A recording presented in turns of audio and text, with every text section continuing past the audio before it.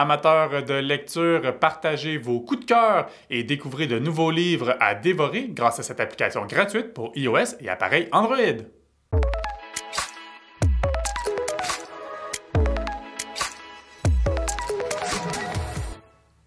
Vous êtes un amateur de lecture, vous dévorez les bouquins et vous voulez peut-être partager vos impressions sur les livres que vous avez lus ou à l'inverse, vous voulez découvrir de nouveaux livres et connaître les impressions de ceux qui l'ont lu. Il y a une application qui est particulièrement pratique en ce sens-là, autant pour appareil iOS qu'appareil Android. Son nom, Babelio. Le principe est simple, on se crée une espèce de bibliothèque virtuelle dans laquelle on y inscrit tous les livres que l'on a, a lus et pour chacun de ces livres-là, on peut donc les noter sur 5 et après ça, ajouter notre propre critique. Donc, ça peut être pratique, encore une fois, pour quelqu'un qui cherche seulement à savoir, ce livre-là, ça vaut-tu la peine?